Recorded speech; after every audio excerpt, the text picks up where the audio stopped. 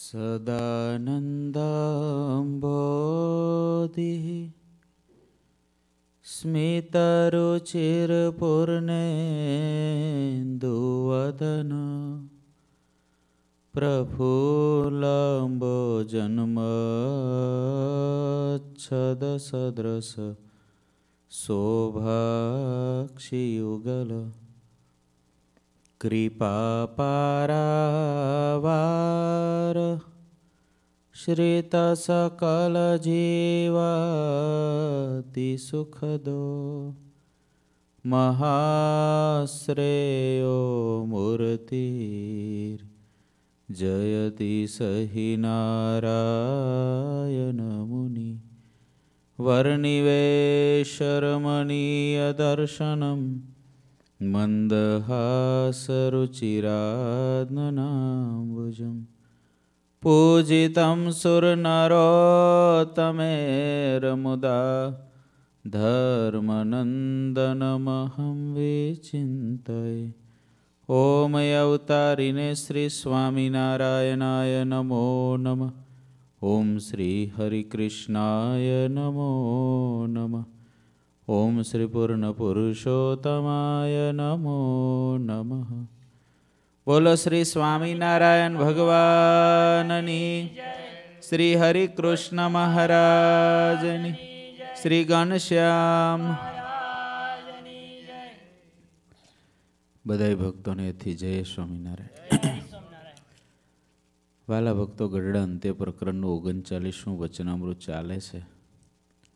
ભગવાન તે ભગવાન, ભગવાનને ભજી ભજીને ઘણાય ભગવાન જેવા થયા છે, ભગવાનના સાર્ધમ્યપણાને પામ્યા છે. પણ ભગવાન જેવા તો એક ભગવાન જ છે, એ વિષય ઉપર આપણે વાત કરીએ છીએ આપણે બે ત્રણ દિવસથી છેલ્લા, એક તો મહારાજનું સૌથી પ્રથમ આપણે એવું ઐશ્વર્ય જોયું કે જેની અંદર શ્રીજી મહારાજ, મનુષ્ય આકારે હોવા છતાંય મહારાજનું જે બળ જે મહારાજે પોતાના મનુષ્ય આકારી માનસિક ચરિત્ર દ્વારા ઘણાઈને પોતાને વશ કર્યા એવા ચરિત્રો જોયા. ત્યાર પછીથી આપણે ગઈકાલ મહારાજની આકર્ષણ લીલાઓ કે મહારાજ જીવને કેવી રીતે પોતામાં ખેંચી લેતા કે જે સામાન્ય જીવાત્માઓ અથવા તો અનાદિકાળથી ભગવાનને અખંડ ધારી રહેલા મુક્તાત્માઓમાં પણ એવી સ્થિતિ હોવી શ્રીજી મહારાજ જેવું એવું આકર્ષણ હોવું એ મહારાજની કૃપાથી હોય તો શક્ય હોય, પણ મહારાજ જેવું પંડે કોઈની અંદર ના હોય એ આકર્ષણ લીલા જોઈ. આજે આપણે એવા ચરિત્રો મહારાજના જોવા છે કે જે ચરિત્રોની અંદર મહારાજે ક્યાંક દિવ્ય સ્વરૂપોએ દર્શન દીધા હોય, ક્યાંક મહારાજે અનેક સ્વરૂપોએ દર્શન દીધા હોય, એક રૂપે ક્યાંક હોય, બીજે રૂપે ક્યાંક હોય, એવા ચરિત્રો મહારાજના થોડા વાંચવા છે. મહારાજના ચરિત્રો છે એ જ ભગવાન સ્વામિનારાયણની દ્રઢતા કરાવવા માટેનું ઔષધ છે. આ મહારાજ આપણને કેવા મોટા મળ્યા છે, એના ચરિત્રોથી સમજાય, સિદ્ધાંતની વાતો હોય, દ્રષ્ટાંતથી સમજાય. મહારાજનું ચરિત્ર દિવ્ય સ્વરૂપને અનેક સ્વરૂપોએ મહારાજે દર્શન દીધા હોય એવા ચરિત્રો. કચ્છ દેશના હરિજનો મહારાજના દર્શન કરીને થોડા દિવસ રહીને ડભાન રહી, પોતાના ઘેર જવા નીકળ્યા. ડભાનમાં જ્યારે મહારાજે યજ્ઞ કર્યો ને, ત્યારે કચ્છના ભક્તો ડભાનના એ યજ્ઞની અંદર આવ્યા હતા. અને મહારાજ, એ યજ્ઞ પૂરો થયો એટલે કચ્છના ભક્તો બધાય ડભાન જવા જ્યારે નીકળે છે, ત્યારે મહારાજ પાસે રજા લેવા આવ્યા. મહારાજ જ્યારે જવા માટે તૈયાર થયા, ભાઈ સેટિંગ ભગતનું છે ને ઘનશ્યામભાઈ, આ બાજુ અવતારો અહીં, તીર્થની બાજુમાં. બસ. તીર્થ આમ તું. તું અહીં આગળ આવી જા, મોન્ટુ ભગતની આગળ. બરાબર છે? ઓકે, તો બરાબર સેટિંગ આમાં જ રહી જાઉં ઘનશ્યામભાઈ. બસ. અને ત્યાંથી મહારાજને, મહારાજે ભક્તોને કીધું, તમે જાઓ, તમારા સંબંધીઓને અમારા દર્શન કરવા માટે મોકલજો. પછી એ બધા સવારના ચાર વાગે દેવળિયા ગામના પાદરની અંદર પહોંચ્યા. અને દેવળિયા ગામના પાદરની અંદર ત્યાં નીકળ્યા, ત્યાં સ્વામિનારાયણ ભગવાનનું ભજન કરતાં કરતાં સૌ સંતો ભક્તો નાહતા હતા. એટલે આ બધા હરિભક્તો ત્યાં સંતોને પગે લાગ્યા દેવળિયા ગામના પાદરમાં. સંતો કે ક્યાંથી આવ્યા? એ કે અમે મહારાજે ડભાનમાં યજ્ઞ કર્યો, ત્યાંથી દર્શન કરીને આવીએ છીએ અને મહારાજે કીધું છે કે જેને દર્શન બાકી હોય એ બધાય ડભાન મોકલજો. એટલે અમારા સંબંધીઓ અહીં દેવળિયા ગામમાં છે, એને થોડુંક કહેતા જઈએ કે તમે મહારાજના દર્શને જાજો. સંતો કે મહારાજ એક માસથી દેવળિયા ગામમાં છે. તમે ડભાનથી આવો છો, યજ્ઞ કરીને મહારાજ તો અમારા ગામમાં એક મહિનાથી છે. આ બહુ જ સાચી હકીકતો છે. તમે શ્રીજી મહારાજના લીલા ચરિત્રોના ગ્રંથો જે નંદ સંતોએ એ સમયે લખ્યા, ત્યાર પછીના દાસ પંક્તિના સંતોએ લખ્યા, એ ચરિત્રોનું જો સંકલન કરવામાં આવે, તો કોઈ પણ બુદ્ધિશાળી વ્યક્તિને હાજ પડી જાય કે શ્રીજી મહારાજ જો એક સ્વરૂપે વિચરણ કરતા હોય ને તો આટલા ચરિત્રો થાય જ નહીં. આખી કચ્છની લીલા, દસ વર્ષનો આખી કચ્છની લીલાઓ, તમે કચ્છના મંદિરોમાં જાઓ, તો ત્યાં કચ્છની લીલાઓ જ વંચાતી હોય. હવે એ જ સમયની અંદર, એ જ સમયગાળામાં ગુજરાતની અંદર મહારાજના ગ્રંથો બીજા લખાયા તો ગુજરાતની જ લીલાઓ છે. એ જ સમયગાળાની અંદર શ્રીજી મહારાજ જુનાગઢ બાજુ હોય તો એ બાજુ સોરઠ દેશની લીલાઓ છે. એવું એક જ સમયે, એક જ તિથિએ મહારાજ ચાર ચાર, પાંચ પાંચ, દસ દસ જગ્યાઓએ હોય, એવા ચરિત્રો પણ છે અને એવા ચરિત્રો પણ હશે કે જે ચરિત્રો શાસ્ત્રોમાં લખાયા પણ નહીં હોય. મહારાજ તો અનેક સ્વરૂપોએ અનેક જગ્યાએ દર્શન દેતા હોય છે. અનેક જગ્યાએ. એટલે તો ભગવાન જેવા એક ભગવાન છે. સંત કે મહારાજ તો એક મહિનાથી અહીં છે, નિત્યાનંદ સ્વામી પાસે ભાગવતની કથા કરાવે છે. હરિજનો ગામમાં મહારાજ પાસે જઈને દંડવટ કરીને પગે લાગીને મળ્યા. ત્યારે મહારાજ કે, ક્યાંથી આવો છો? કેવું લાગે આ? મહારાજ કે, ક્યાંથી આવો છો તમે? એ કે, મહારાજ ડભાનથી મહારાજ કે, ત્યાં શું છે? ડભાનમાં શું હતું? અરે મહારાજ, લાખ બ્રાહ્મણો ભેગા કરીને તમે જમાડે ને તમે પૂછો છો કે ડભાનમાં શું હતું? ત્યાં મોટો મંચ કર્યો તો એના પર રોજ તમે વિરાજમાન થાઓ છો. અમે આપણી પાસે રજા લીધી, ત્યારે તમે કહ્યું કે તમે જાઓ ને સંબંધીઓને મોકલજો. મહારાજ કે અમે એક માસથી અહીંયા છીએ. અમે તો એક મહિનાથી અહીં છે. તમને કીધું કોને? મહારાજ આ વાત કરે છે ત્યાં ધમડકેથી કંકોત્રી લઈને બ્રાહ્મણ આવ્યો. ધમડકા ગામથી બ્રાહ્મણ કંકોત્રી લઈને આવ્યો. એ કે, બધા ધમડકે આવજો, ભાગવતની સપ્તાહ મારા ત્યાં કરાવે છે. ક્યાં હતા મહારાજ? ધમડકા બોલો, દેવળિયા હતા, ડભાનમાં હતા કે ધમડકા હતા? મહારાજ બેઠા છે ને ઓલો પત્રિકા લઈને આવ્યો. કે મહારાજ ન્યા ભાગવતની પારાયણ કરાવે બધા ન્યા આવજો. અહીં મહારાજ બેઠા છે. તો મહારાજ ન્યા ધમડકાની અંદર એ હતા. તે સાંભળીને બધાય આશ્ચર્ય પામીને પોતાના દેશમાં ગયા. બધાય કે આમાં આપણી બુદ્ધિ પૂગે એવી નથી. ભગવાનના કાર્યમાં બુદ્ધિ વિરામ પામી જાય. મહારાજનું કાર્ય છે ને તે આપણી બુદ્ધિ ક્યારેય પણ કામ ના લાગે. એક ભગવાન અને એક ભગવાનના મોટા પુરુષ. બે જગ્યાએ બુદ્ધિને લોક મારવામાં મજા છે. ત્યાં બુદ્ધિ દોડાવી જ નહીં કે એ કેમ આમ કરતા હોય ને એ કેમ આમ કરતા હોય, એ જે કરતા હશે બરાબર કરતા હશે. એ જેમ હશે એમ બરાબર જ હશે. એની જે ઈચ્છા હશે એમાં મારું હિત જ હશે. ત્યાં બુદ્ધિને લોક મારી દેવું. ત્યાં જ એની બુદ્ધિ દોડી છે. કારણ કે બુદ્ધિનો વિષય નથી. ભગવાન બુદ્ધિનો વિષય નથી.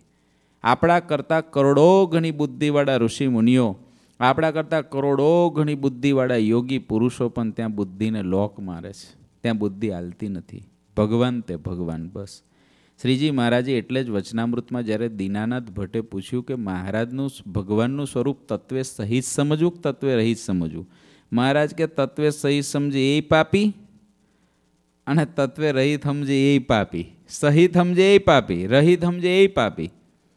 ભગવાન તે ભગવાન. એમાં કોઈ તર્ક નહીં. બસ હાકરનું નાળિયેર છે, બધી બાજુથી ખાવ. તમને જે બાજુથી ઈચ્છા પડે એ બાજુથી ખાવ, બધી બાજુથી મીઠું છે.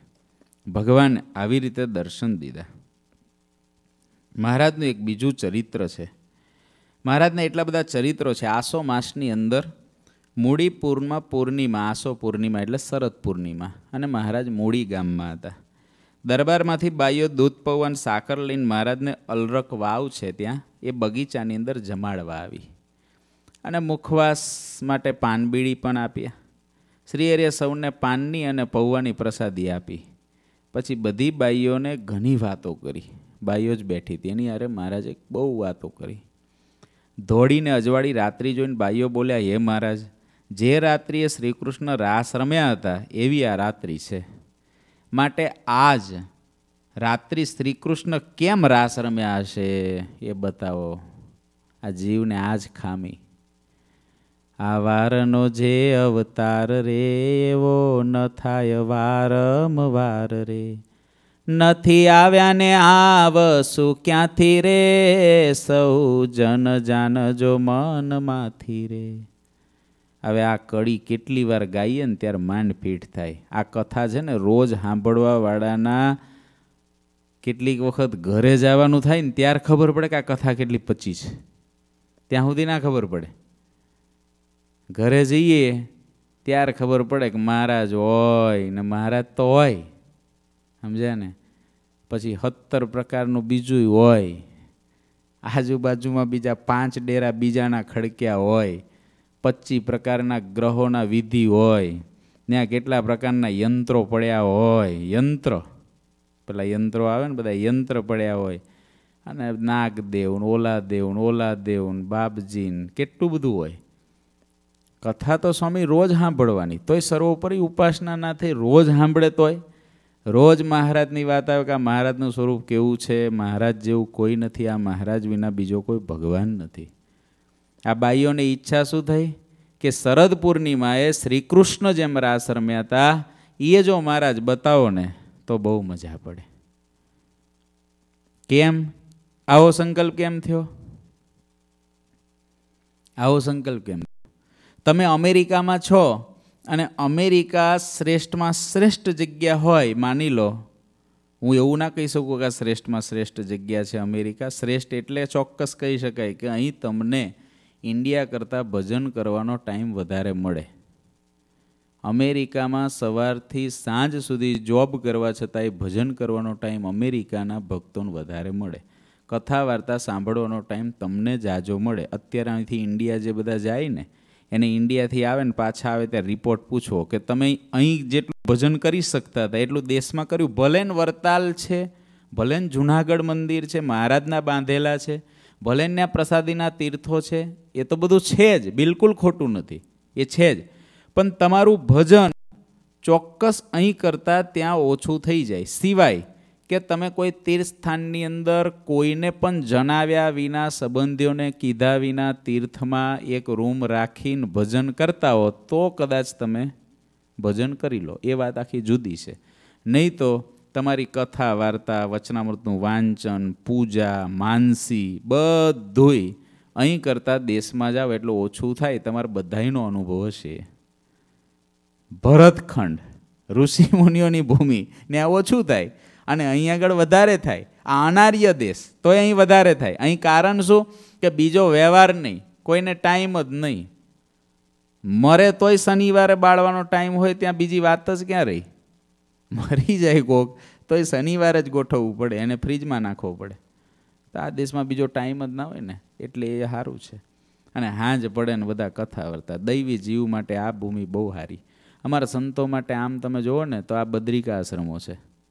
અક્ષરધામ છે, પણ આમ તમે જુઓ ને, તો જેમ પેલું ભજન કરવાનું સ્થાન કોને તો જે કરવું હોય, અમે અહીં જેટલા ફ્રી હોય ને, અહીં તમને જેટલા નજીકથી મળી જઈએ તમારે દેશની અંદર સંતોને મળવું હોય તો ક્યાં તમે લોયા પહોંચ્યા હોય તો ત્યાંથી જે સાધુને મળવા ગયો એ પહોંચ્યો હોય કંડારી.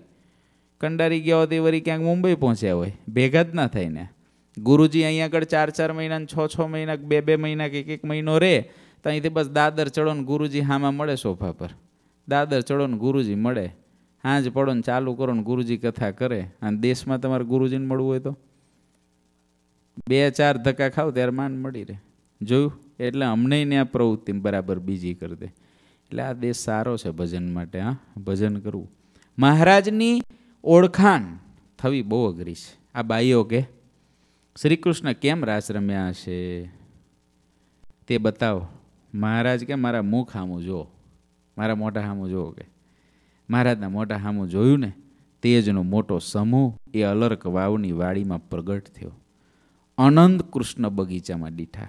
એક નહીં. આનંદ કૃષ્ણ. અને બે બે ગોપીઓની વચ્ચે એક એક કૃષ્ણ. બે ગોપી, એક કૃષ્ણ. બે ગોપી, એક કૃષ્ણ. એવું જોયું અને જમુનાજીનો કાંઠો દેખાયો. જમુના નદી જાણે ત્યાં વહેતી હોય ને કાંઠો હોય એવું દેખાયું. એ ઉપર બગીચો જાણે વૃંદાવન હોય એવો શોભતો હતો. અને એના મધ્યે તેજોમય સિંહાસન ઉપર શ્રીજી મહારાજ બેઠા હતા. અને શ્રી કૃષ્ણ અને ગોપીઓ શ્રીજી મહારાજની આજુબાજુ રાસ રમતા હતા.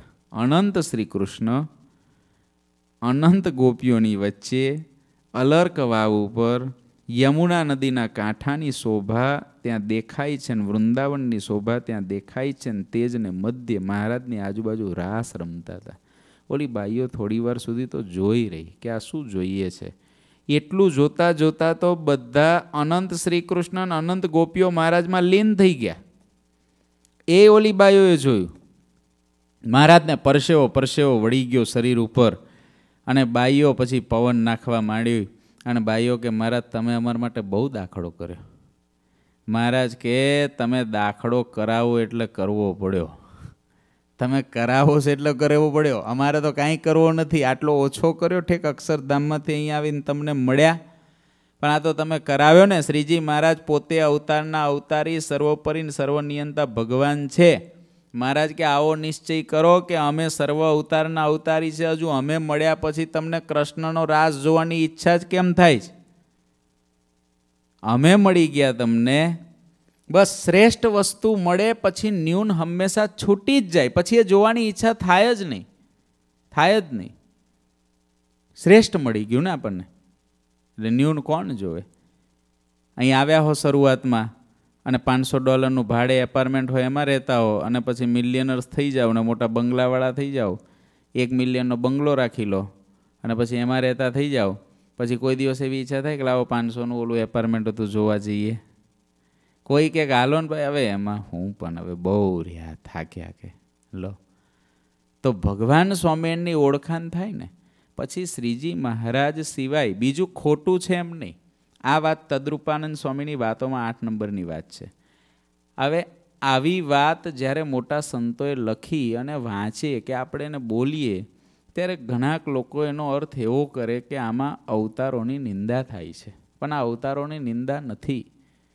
આ તો ભગવાન શ્રીહરિની મોટાઈ છે. જેને શ્રીજી મહારાજ જેવા છે એવા સમજાઈ જાય, એને શ્રીજી મહારાજ સિવાય બીજું કંઈ ખપે નહીં. એને શ્રીજી મહારાજનું ચરિત્ર વધુમાં વધુ એ જ ગમે. એનો અર્થ એ નથી કે અવતારના ચરિત્ર ન સાંભળે. અવતારોના ચરિત્રો પણ સાંભળે, અવતારોના ઉત્સવો પણ જે તે શ્રીજી મહારાજની આજ્ઞા મુજબના બધા જ કરે. પણ શ્રીજી મહારાજના ચરિત્રમાં જે સ્વાદ આવે, એ સ્વાદ એને ઓલામાં ના આવે. શ્રીજી મહારાજના પંચાળાના રાસમાં જે સ્વાદ આવે, એ પછી યમુનાના કાંઠામાં ના આવે. બસ આટલો ફેર. બાકી એ તો સાચું જ છે. કલ્યાણકારી જ છે. પણ શ્રીજી મહારાજની જે લીલા હોય, એમાં જેટલી આસક્તિ થાય, એ સાંભળવામાં જેટલો જીવ ખેંચાય, એટલું કોઈ વાતમાં ના થાય. ભજન તો બધાય હારા જ છે. પણ શ્રીજી મહારાજનું વર્ણન કરતા હોય એવા જે ભજન હોય, એની અંદર જે ચિત્ત ચોટે, એવું બીજે ના ચોટે. આવું ભગવાનના ભક્તનું પતિવ્રતાનું અંગ પોતાના ઈષ્ટદેવ પ્રત્યે અવશ્ય મેવું જોઈએ.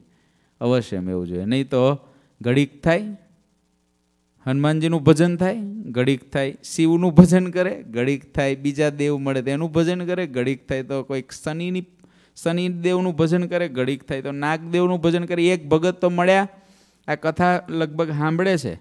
એક વખત ફોન આવ્યો. મને કે હું તો રોજ મારે પચીસ ત્રીસ માળાઓ કરવાની અલગ અલગ. સૂર્યનારાયણ સૂર્યનારાયણ સૂર્યનારાયણ સૂર્યનારાયણ.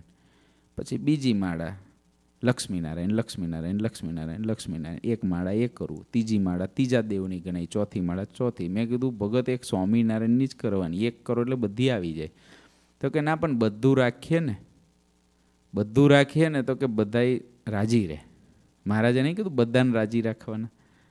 એવું, ઘણા વ્યાખ્યા કરે. સર્વોપરી એટલે બધા સર્વને ભેગા રાખવાના. સર્વને ભેગા ચોક્કસ રાખવાના. પણ ઈષ્ટ તો એક છે.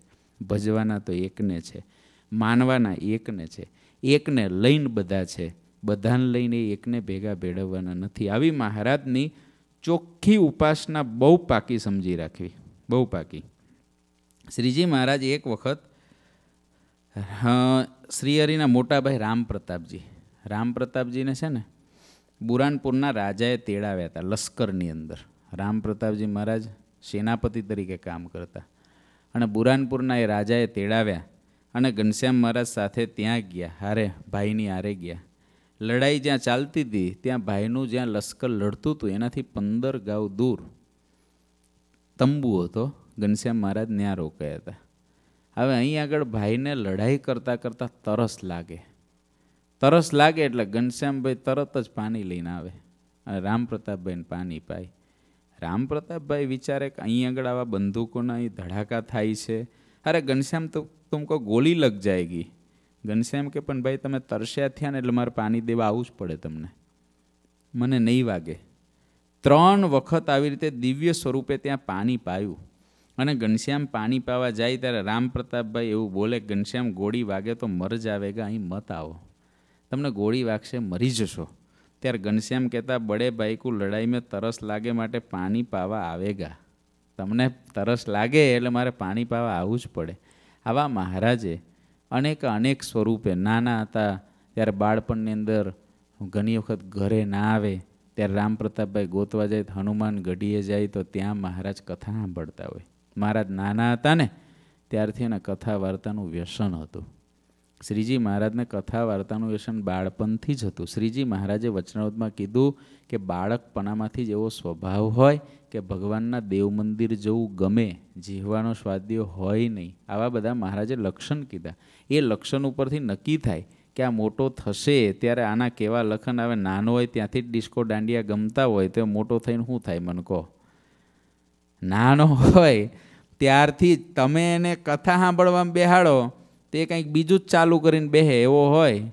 તમે એને કીર્તન આપો, તે ગાયન કાઢે એવો હોય. તો શું થાય? એટલે જ બાળપણથી સંસ્કાર એવા આપવાના કે બાળપણથી જ એને ટેવ એવી પાડો ને અમારે ભેગા માનસરોવરની યાત્રાની અંદર પૂનાના ભોજાણી પરિવાર છે. એના દીકરાઓ આવેલા બે. અને માનસરોવરની યાત્રામાં આવે એટલે ગુરુજી પછી નાના છોકરાઓ એટલે પોતાની ગાડીમાં એક બે રાખે જ. એને સત્સંગના સંસ્કાર પડે. તે પછી ગુરુજી એવો કાનમાં આમ નાખીને સાંભળ્યા કરે કંઈ ને કંઈ. એટલે ગુરુજીને આમ શંકા જાય કે આ કાનમાં નાખીને શું સાંભળ્યા કરે છોકરો? તો ભાગ્યેશ નામ એનું, નાનો છોકરો. પછી અચાનક ગુરુજીએ અડધી ક્યાંક ગાડી ઊભી રહી. ગુરુજી કે, લાય, મારે તારું સાંભળવું છે. તું શું સાંભળ્યા કરે છે આ કાનમાં નાખીને કે? તો ગુરુજી આખે આખું સાંભળ્યું ઠેક પહેલેથી માંડીને દસ બાર પંદર કલાકનું હશે. હવે આ તો અમારે તો ગાડીમાં ચાલ્યા જ કરવાનું હોય એમાં. દસ પંદર કલાકનું સાંભળ્યું, પણ એક પણ પિક્ચરનું ગીત કે એક પણ બીજું ભજન પણ નહીં. એકલા શ્રીજી મહારાજ પરક નંદ સંતોના કીર્તનો, વંદુના પાઠ, વંદુના પદ, આવું જ હતું. હવે એ બાર વર્ષનો છોકરો. એટલો બધો કંઈ જાજો સાધુનો યોગમાં પણ નહીં.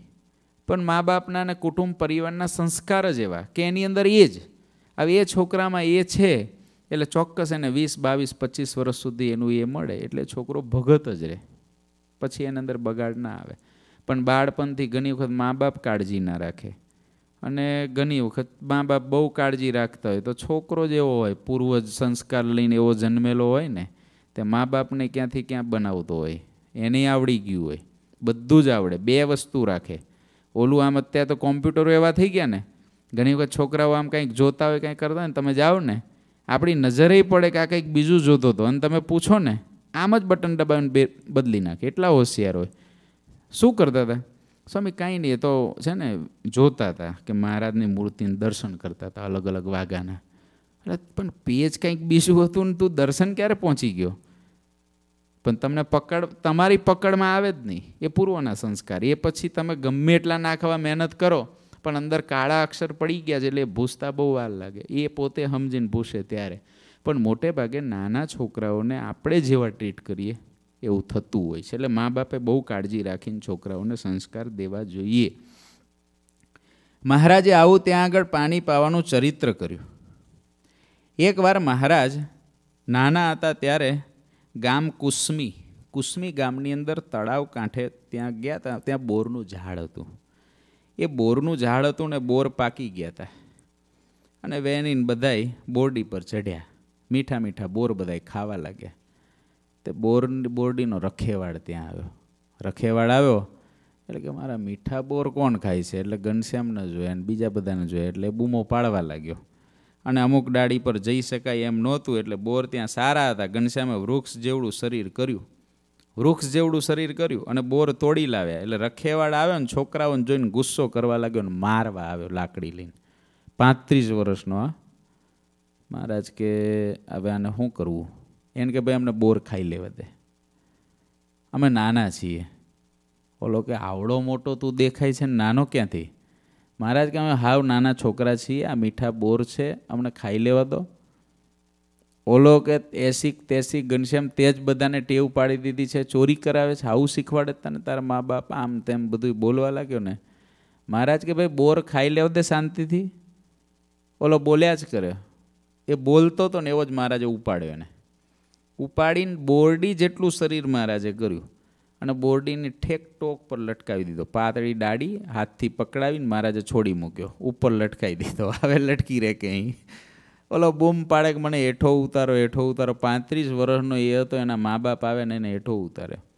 અરે, બોર ખાવા હોય તો ભલા આવી રીતે ખવાય કે? આપણા ઘરની બોરડી છે, બોર કેવી રીતે ખવાય? તને બોર ઉતારતા નથી આવડતું? આવી રીતે ચડાય? ઓલો કે, મને ચડ્યો નથી, ચડાવવામાં આવ્યો છે કે. અહીં ચડ્યો નથી. આ મને પકડીને મૂકી દીધો. કોને મૂક્યો કે તને? આ ધર્મદેવના છોકરાએ કે. ધર્મદેવના છોકરાએ?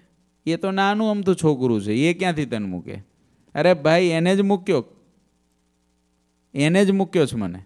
એના મા બાપ ફરિયાદ કરવા ધર્મપિતા પાસે આવ્યા ત્યાં ધર્મપિતા પાસે આવે ને કે તમારો બોર, તમારો દીકરો છે, એ દીકરાએ મારા છોકરાને આવી રીતે ઉપર લટકાવી દીધો. ધર્મદેવ કે તારો છોકરો કેવડો, એ કે. તો કે પાંત્રી વર્ષનો આ મારો છોકરો કેવડો એ તું જો. આ છોકરો તારા છોકરાને લટકાવે કેવી રીતે? એ કે, ઓલો કે ના ના લટકાવે તેમ મહારાજ હશે.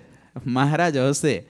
અને મહારાજ હસતા હસતા કે, ધર્મદેવને કે પિતાજી, આ મૂર્ખ માણસ છે કે. મને કહે છે કે, મેં લટકાવ હું આટલો આમ તો એના છોકરાને કેવી રીતે પાંત્રીસ વર્ષના ઉપાડવાનો છું? ધર્મદેવ કે, હા, સાચી વાત છે. બધાય, આખું બધાય લોકો ભેગા થઈ ગયા આજુબાજુના. આ ધર્મદેવને જેમ તેમ બોલવા લાગ્યો એટલે. અને બધાય ભેગા થઈને કેલા, મૂરખ, તું આવી વાત ના કરી. ઓલો પાંત્રીસ વર્ષનો કે, મને લટકાવ્યો છે, મેં મારી આંખોએ જોયું છે, મને ઉઠાવીને લટકાવ્યો છે ઉપર. કોઈને સાચું લાગ્યા લાગે કોઈને? પણ લટકાવ્યો હતો ને. એટલામાં મહારાજ હામું પેલા એના મા બાપ જોવા લાગ્યા. ઓલો પાંત્રી વર્ષનો છોકરો હતો ને, જેને લટકાવ્યો હતો ને એ રખેવાડ ને એના મા બાપ એ બધા જોવા લાગ્યા મહારાજ. મહારાજ આમ કુવાન કાંઠે દૂર ઊભા હતા. તે મહારાજે એમની સામે જ છે ને, બોરડી જેટલું સ્વરૂપ મોટું કર્યું.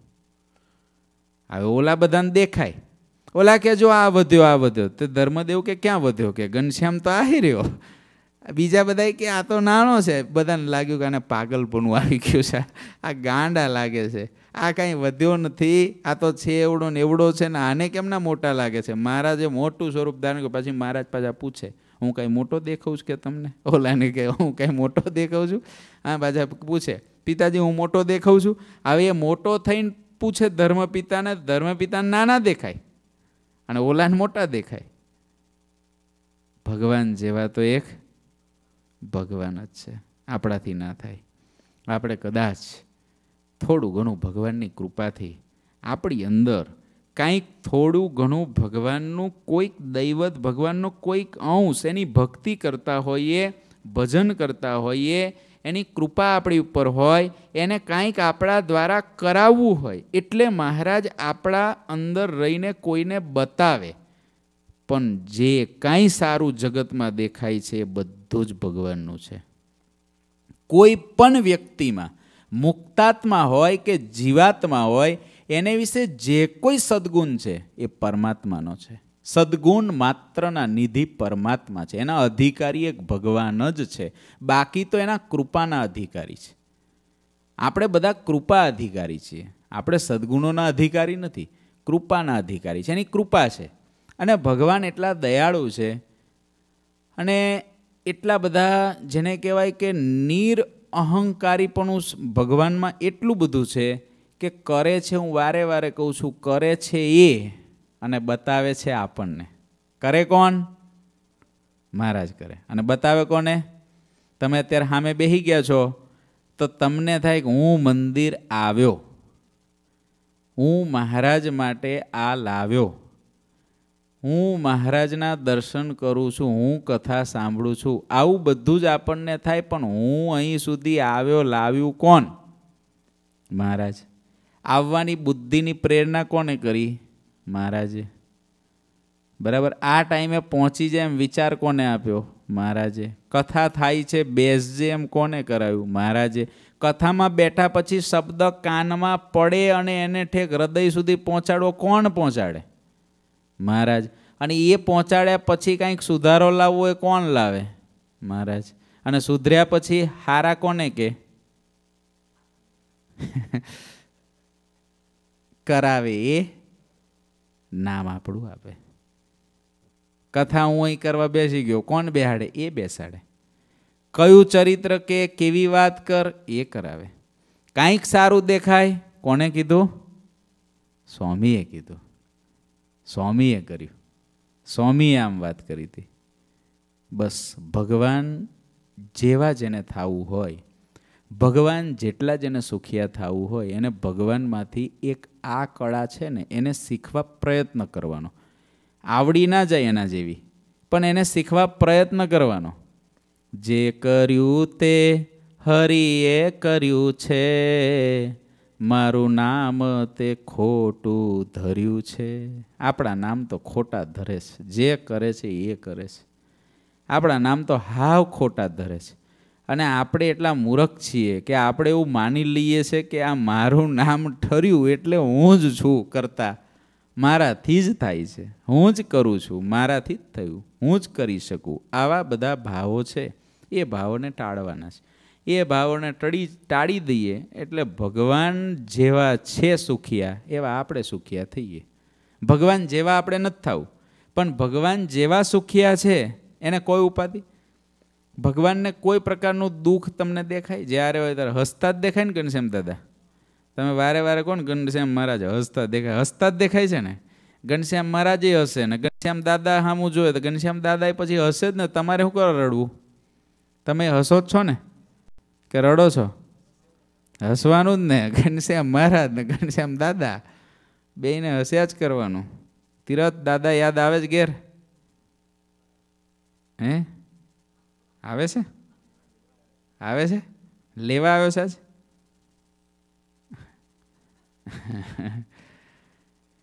એટલે મહારાજ જેવા સુખિયા છે, એવા સુખિયા થવું હોય. એને મહારાજ જેવા વિચારોને કેળવા પડે, જેને સુખિયા થવું હોય. મહારાજના જેવા વિચાર છે, એવા એ કેળવે એટલે એ સુખ્યો થઈ જાય લો. એક વખત વડોદરામાં ગોપાળન સ્વામીએ નારાયણભાઈ આદિ ગરીભક્તો હતા, તંબોડી એ હરિભક્તોને કીધું, વંદુ સહજાનંદ રસરૂપ ગાવ. આ વંદુના પદ છે ને, બહુ ચમત્કારી પદો છે. આપણે અહીં અખંડ વંદુના પદ વાગે આપણા મંદિરમાં સતત વંદુના પદ ચાલુ જ હોય. એટલે અડધેથી કોઈ આવે ને, એટલે લાગી જાય. અને એ કેવા ચમત્કારી પદ હશે કે અહીંયા આગળ હિન્દી ભાષી માણસો આવે છે.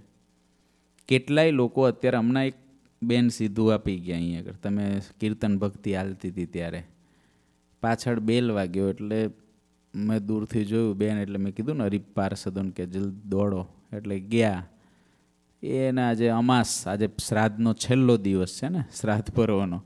એટલે કે પિતૃદેવ, પિતૃઓ માટેનું આ બધું છે, સંકલ્પ કરશે. અહીં બધું મેં કીધું, ભાઈ, મુકાઈ દો ઠાકોરજી પાસે. એટલે ઠાકોરજી સંકલ્પ કરે. તો એવા તો ઘણા લોકો આવે, અજાના. એ તો ગુજરાતી હતા કોઈ. પણ એ હિન્દી આવે, હિન્દી ભાષી. અને વંદુના પદ સાંભળે છે ને, તો વંદુના પદની કેસેટ માગે છે. કે આ વંદુના પદની કેસેટ આપો. કેમ? એ ચમત્કારી પદો છે. જ્યારે વાડી મંદિરની અંદર વડોદરા વાડી મંદિર છે, એ વાડી મંદિરમાં શિવજી પધરાવેલા છે, ગોપાળન સ્વામીએ. અને એ શિવજી જે પધરાવ્યા છે, શિવજીની જ્યારે પ્રતિષ્ઠા કરવાની હતી ને, ત્યારે વેદના મંત્રો બોલવા માટે બ્રાહ્મણોને લાવવામાં આવેલા. ત્યારે ગોપાળન સ્વામીએ કીધેલું કે આની અંદર ચાર વેદનું કામ નથી કે? આમાં તો આઠ વેદનું કામ છે. કેટલા વેદ? આઠ વેદ. અને મહાપુરુષદાસજી સ્વામી, જે મહાપુરુષાનંદ બ્રહ્મચારી હતા જૂનાગઢને વિશે. અને એ મહાપુરુષાનંદ બ્રહ્મચારી હતા રામજી શર્મા પૂર્વાશ્રમમાં એમનું નામ હતું. ત્યાર પછી એ મહાપુરુષાનંદ બ્રહ્મચારી થયા. મહાપુરુષાનંદ બ્રહ્મચારી જન એ જ્યારથી સ્વામી પ્રગટ થયા ને ત્યારથી પરચાઓ પૂરતા. એનો આખો સાધુ થતાં પહેલાંનો, બ્રહ્મચારીની દીક્ષા લેતા પહેલાંના ઇતિહાસોમાં પણ મહારાજનો સાક્ષાત્કાર એને હતો. અને પછી પણ મહારાજનો સાક્ષાત્કાર ઠેક સુધી રહ્યો. પણ એમને એમ હતું, ગુણાદિતાનંદ સ્વામીની મારે પ્રસાદી જોઈએ. ગુણાદિતાનંદ સ્વામીની પ્રસાદી જોઈએ. હવે બ્રહ્મચારીની દીક્ષા. એટલે અમારા સાધુ કરતાં ઊંચી દીક્ષા. જેમ અમે ગ્રહસ્થ આશ્રમનું રાંધેલું ન જમીએ અમે આ સફેદ કપડાની અંદર પાર્ષદો હોય, એનું પાણીમાં રાંધેલું ભાત, દાળ, શાક કે રોટલી અમે ન જમી શકીએ, દીક્ષાના ભેદના કારણે. તો એવી જ રીતે અમારા હાથનું રાંધેલું બ્રહ્મચારી ન જમી શકે. જે બ્રાહ્મણમાંથી થયા હોય, એ બ્રહ્મચારીઓ જે મોટે ભાગે દેવ મંદિરોમાં દેવોની સેવા કરતા હોય ધોળી ધોતી ઉપર પગવું, કપડું પહેરેલું, એ બ્રહ્મચારી કહેવાય. તો એ ના જમતા હોય. આજે તો એવા ચુસ્ત અને એટલા બધા મર્યાદા પાલક, આ તો યુગ પ્રભાવ છે બધો. ધોવાતું જાય છે ને અત્યારે તો. અત્યારે તો બધું થઈ ગયું. તમને જ કહી દે, ઢોકળાને ઢેબરા તૈયાર રાખજો. એ યુગ આવી ગયો છે અત્યારે. અને કરવાવાળા કરી દે છે, જમવાવાળા જમી લે છે અને એમાં સુખ આવી જાય છે ને સત્સંગનો ખરેખરો એમાં બધી રીતે એમાં, એ હારો સત્સંગ કોઈ દી મટે જ નહીં. બોલો, એ હેત કોઈ દી ના તૂટે. આ કથા વાર્તા દ્વારા તમને એ જ થયું હોય ને એનું નક્કી નહીં. ક્યારેક અભાવ આવે ને અવગુણ આવે ને ક્યારેક ભાગી જાવ દૂર. એવું થાય. પણ ઓલું જે સારું હારે બેહીને, હારે ઢોકરાને, ઢેબરાને, ભજીયાન, મરચા ખાઈને જે હેત થયું હોય ને, એ હેત તૂટે જ નહીં કોઈ દી. કોઈ દિવસ હેત તૂટે નહીં. બોલો.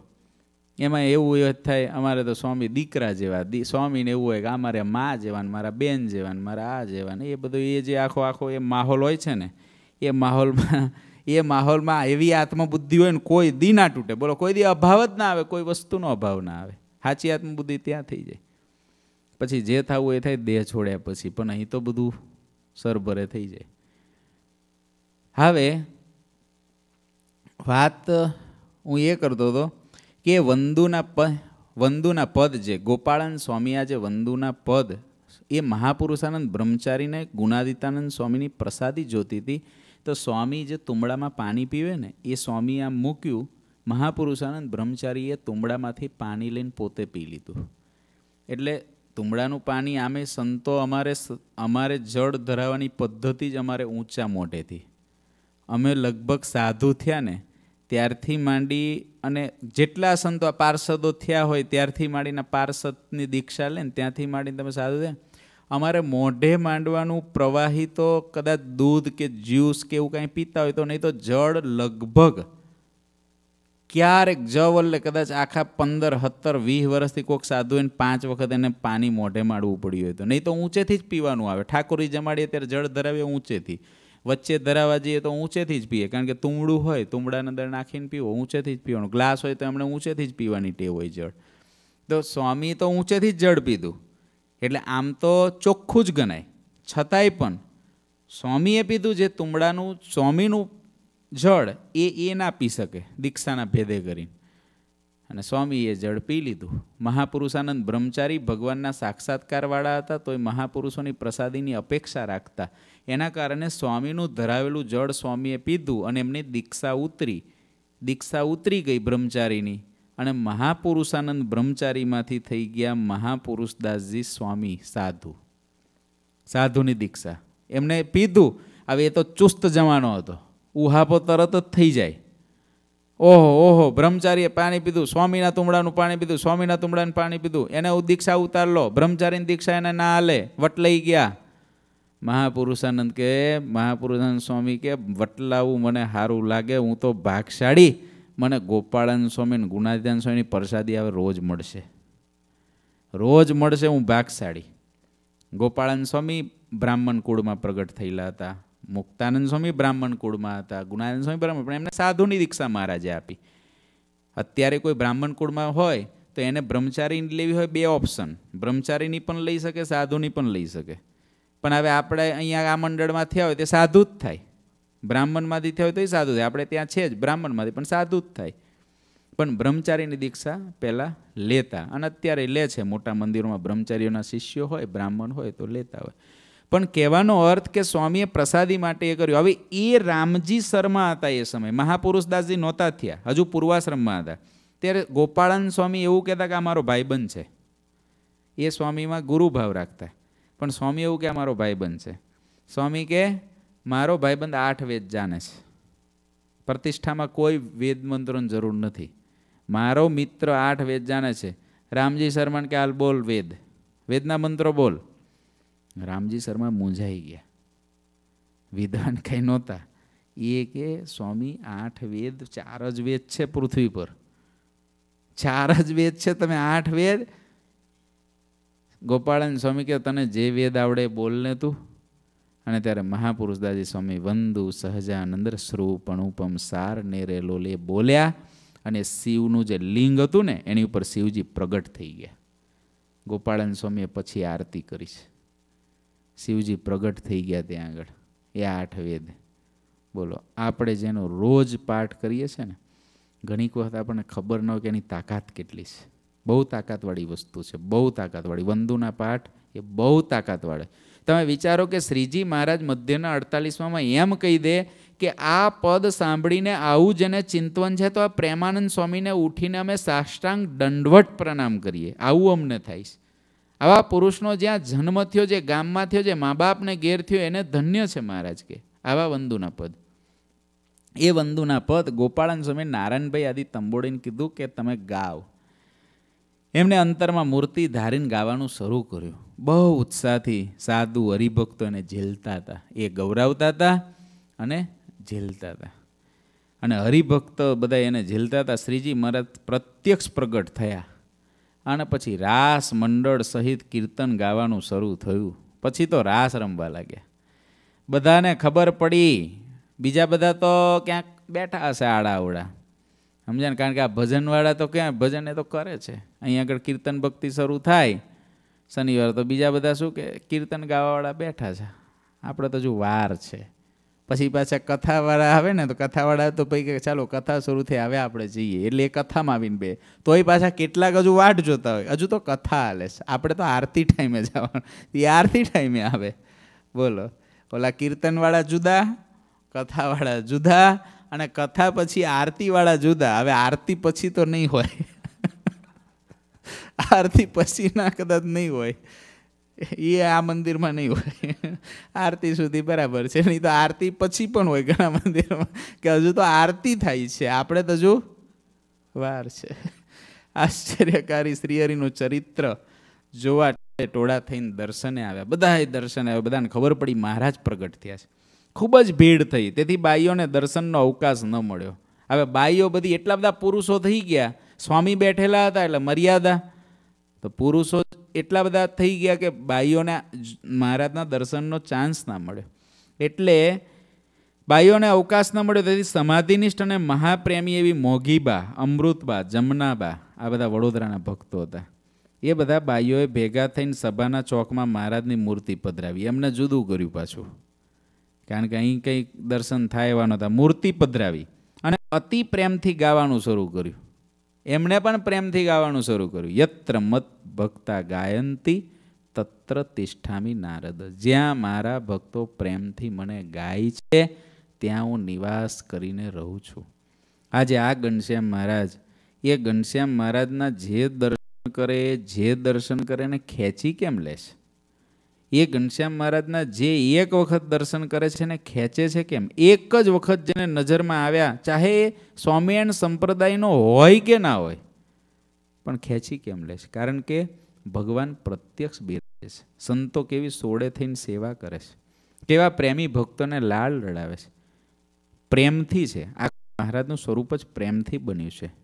પ્રેમ જ મટીરિયલ છે અંદર. કોઈ પથ્થર મટીરિયલ નથી, પ્રેમ છે મટીરિયલ ગુરુજીના પ્રેમમાંથી પ્રગટ થયેલું છે. ભક્તોના પ્રેમમાંથી પ્રગટ થયેલા છે મહારાજ. પ્રગટ થયા અને તેમની ભેગા ગાવા માંડ્યા. બોલો, હું નથી આ અહીંયા હમણાં હાર આવે છે ને પેલા, આ શ્રી સ્વામી કહેતા ને, બેન બનાવે પેલા હાર. એ એવા હારનો હું જ્યારના હાર બને છે ને ત્યારથી સંકલ્પ, હું કેટલી વાર બાપાઓને કહું, હું ત્યારથી સંકલ્પ કરું કે આ આવા ફૂલના એવા એક મને મગજમાં મેં જોયા હોય ને એટલે મને એમ કે આવા હાર આવા હાર આવા હાર.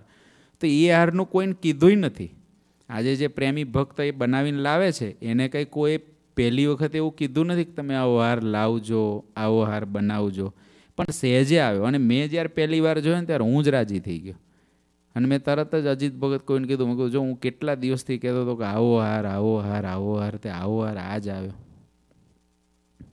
જોયું ભગવાન પોતે પોતાનું બધું જ આપણને લાગે છે કે આપણે મહારાજ માટે કરીએ છીએ, મહારાજ એનું બધું જ આયોજન કરી લે છે. આપણે કશું આયોજન કરવાનું રહેતું નથી. બોલતા, મહારાજ તો આપણી પર દયા કરીને આપણને સુખ આપે. દયાએ કરીને આપણને સુખ આપે. આ બાઈઓ બધી ભેગી થઈ અને પ્રેમથી ગાવા માંડી, એ વંદુના પદ પ્રેમથી ગાય છે. તો મહારાજ એમની ભેગા પ્રગટ થયા. ઓલી મૂર્તિ પધરાવી હતી ને, મહારાજ એમાંથી પ્રગટ થયા અને એમની ભેગા ગાવા માંડ્યા અને રાસ રમવા માંડ્યા. આમ એક જ સમયે એક સ્થળની અંદર બે સ્વરૂપે મહારાજ પ્રગટ થયા. બોલો. આવા મહારાજના ચરિત્રો છે. ભગવાન જેવા એક ભગવાન છે. વાત એટલી છે સાચા ને સોંગાગના નથી, મોંઘા થયા મહારાજ. સાચો છે, એના માટે ભગવાન બહુ સોંગા છે, માટે સાચા ભાવથી મહારાજને ભજવા અને મહારાજની અંદર હેત કરવું. ભગવાન જેવા તો એક ભગવાન જ છે, એવા ચરિત્રો હજુ પાછા આપણે આવતીકાલે જોશું. શ્રી ઘનશ્યામ મહારાજની શ્રીપતિમ શ્રીધરમ સર્વદેવેશ્વરમ ભક્તિધર્માત્મજમ વાસુદેવમ હરે માધવમ કેશવમ. કારણમ સ્વામિનારાયણમ નીલકંઠમ ભજે શ્રી ઘનશ્યામ મહારાજ